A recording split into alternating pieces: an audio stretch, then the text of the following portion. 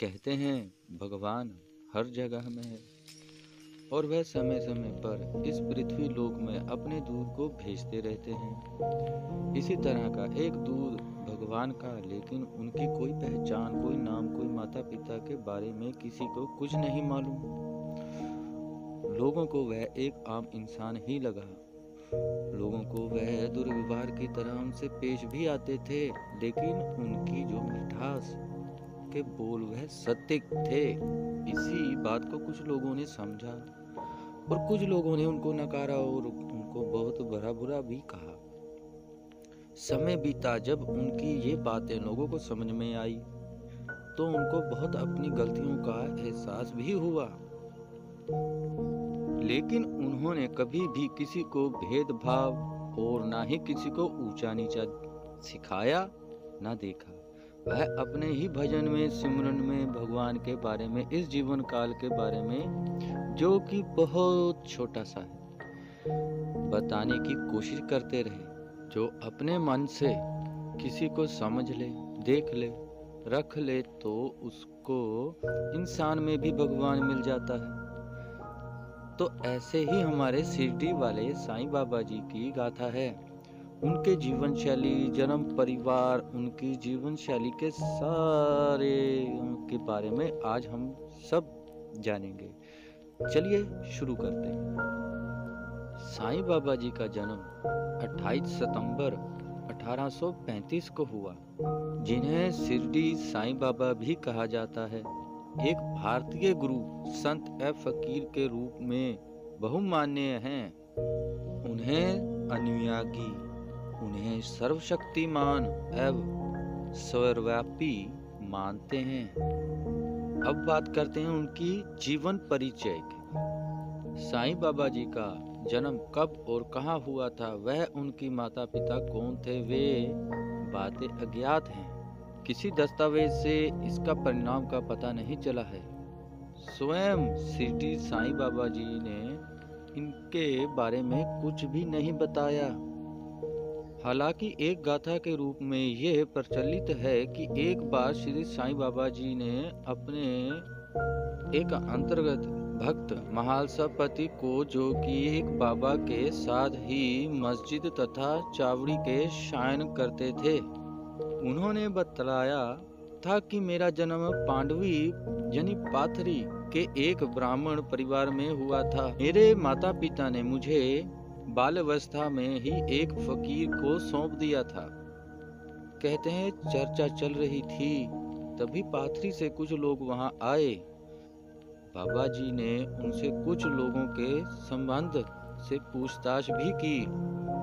उनके जन्म स्थान के बारे में, तिथि के बारे में पूछ उनके अनुयायियों और विश्वास श्रद्धा पर आधारित है। शिरडी साईं बाबा के अवतार माने जाने वाले श्री सत्य साईं बाबा ने अपने पूर्व रूप का परिचय देते हुए शिरडी साईं बाबा के पार्थिक जीवन संबंधी घटनाओं पर प्रकाश डाला है, जिसमें ज्ञात होता है कि उनका जन्म 28 सितंबर 1835 में तत्कालीन हैदराबाद राज्य व पाथरी नामक गाँव के एक ब्राह्मण परिवार में हुआ था। चलिए माता पिता जन्म स्थान इनके बारे में भी जरा देख लें। जन्म तिथि व स्थान की तरह साईं के माता पिता के बारे में भी प्रमाणित रूप से कुछ भी ज्ञात नहीं है। श्री सत्य साईं बाबा द्वारा दिए गए पर्याप्त विवरण के अनुरूप उनके माता पिता के नाम श्री गंगा बावड़िया व उनकी माता का नाम देवगिरी अम्मा माना जाता है। दोनों शिव पार्वती के उपासक थे, तथा शिव के आशीर्वाद से ही उनकी संतान हुई थी। कहा जाता है कि जब साईं अपनी माँ के घर में थे, उसी समय उनके पिता के मन में ब्रह्मा की खोज में अरुण व्यास की अभिलाषा तीव्र हो गई थी और अपना सब कुछ त्याग कर जंगल में निकल पड़े थे। उनके साथ उनकी पत्नी भी थी। मार्ग में ही उन्होंने बच्चे को जन्म दिया था और पति के आदेश के अनुसार उसे वृक्ष के नीचे छोड़कर चली गई थी। एक मुस्लिम जो फकीर था, उधर से निकलते जा रहे थे, जो कि संतान की आवाज़ सुनते ही उन्होंने उस बच्चे को अपना लिया और प्यार से बाबा का नाम रखकर उन्हें उनका पालन पोषण भी किया। बचपन चाँद पाटिका का आश्रम। बाबा जी का लालन पालन एक मुसलमान फकीर के द्वारा हुआ था, परंतु बचपन से ही उनका झुकाव विभिन्न धर्मों की ओर था, लेकिन किसी एक धर्म के प्रति उनकी एक शिष्ट आस्था नहीं थी। कभी वे मंदिरों के मंदिर में घुस जाते थे तो कभी मस्जिद में जाकर शिवलिंग की स्थापना करते थे। इनसे ना तो गाँव के हिंदू प्रसन्न थे और ना ही मुसलमान। निरंतर शिकायत आने के कारण उनको पालने वाले फकीर ने उन्हें घर से निकाल दिया। साई के जितने बर्ताव प्रताप हैं, वे सभी उनके किसी न किसी चमत्कार से जुड़े हैं। ऐसे ही एक बर्ताव के अनुसार औरंगाबाद ज़िले के एक धूप गाँव के एक अंधाए गए मुस्लिम सज्जन की खोई घोड़ी बाबा के कथा अनुसार मिल जाने से उन्होंने प्रभावित होकर बाबा को आश्रय दिया और कुछ समय तक बाबा वहीं रहे। सिद्धि में आगमन के बारे में जानते हैं। चमत्कारिक कथा के तौर पर ही कहा जाता है कि बाबा पहली बार सोलह वर्ष की उम्र से शिरडी में एक नीम के पेड़ के तले पाए गए थे। उनके इस निवास के बारे में कुछ चमत्कारिक कथाएँ प्रचलित हैं और कुछ समय बाद वह वहाँ से अदृश्य हो गए थे।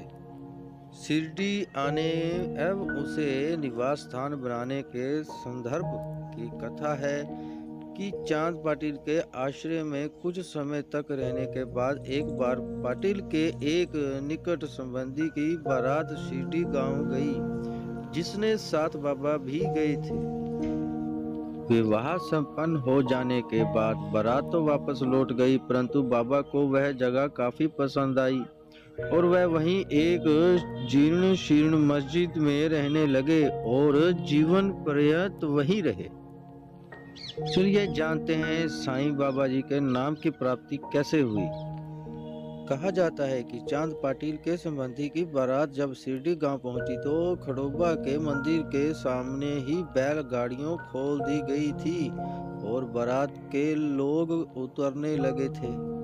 वहीं एक श्रद्धालु व्यक्ति महासापति के तरुण फकीर के तेजस्वी व्यवित से अभिभूत होकर उन्हें साई कहकर संबोधित किया। धीरे धीरे शिरडी में सभी लोग उन्हें साईं या साईं बाबा के नाम से ही पुकारने लगे और इस प्रकार वे साईं से प्रसिद्ध हो गए। अब बात करते हैं धार्मिक मान्यता की। साईं बाबा का पालन पोषण मुसलमान फकीर के द्वारा हुआ था और बाद में भी वे पर्याय मस्जिद में ही रहे उन्हें लोग समानतः मुस्लिम फकीर के रूप में ही जानते थे। वह निरंतर अल्लाह का स्मरण करते थे। अल्लाह मालिक कहाँ करते थे? हालाँकि उन्होंने सभी धर्मों को एकता का बल दिया, विभिन्न धर्मों को अपने आश्रय स्थान देते थे। उनकी अनुयायी हिंदू और मुसलमान दोनों करते थे। और हिंदू और मुस्लिम से अलग भी जाति के लोग उनको मानने लगे थे।